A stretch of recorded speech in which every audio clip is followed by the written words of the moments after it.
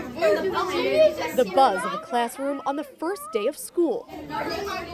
The excitement and anticipation of what lies ahead is second to none, and not just for the students in the Diocese of Brooklyn. Good to see you guys. So my name is Deacon Mack. It's his first day of school, too. Deacon Kevin McCormack, or as he wants to be called, Deacon Mack, the new superintendent of Catholic schools. has got his big plans for you. Deacon Mack is starting his journey at a time when schools in the diocese are boasting big numbers. There are 3,000 new students, and more than a third of diocese schools have enrolled more kids than in 2019, before the pandemic. Oh my goodness, they're thriving. Our schools are doing tremendous work. We're just beginning. And Deacon Mack has big plans to match. He's putting kids and a Catholic education first, emphasizing support and respect for teachers and focusing on education as an essential part of diocesan growth. Mihal. His first stop was the oldest school in the Diocese of Brooklyn, St. Michael's Catholic Academy, a place that's taken cultural immersion to a new level.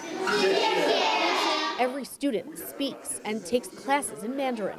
Everybody is represented here. Everyone gets treated the same, even when it's their birthday. He also toured St. Andrew Avellino Catholic Academy, where his welcome took away those first day jitters. I was also a little nervous, but now I'm not nervous at all. As the oldest new kid in the Diocese of Brooklyn, Deacon Mack's hoping to accomplish one thing further the mission of Catholic education. They need to give the schools that they went to support so that the next generation can be there. It's a home away from home. We have new students, and I hope to make friends with them.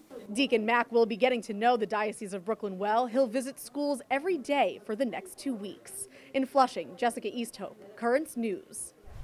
Hi, I'm Christine Persichetti, anchor of Currents News. If you like what you saw, please hit the like button on this video. And if you want to see more content just like it, subscribe and click on the bell for notifications. Thanks for watching because we are putting your faith in the news.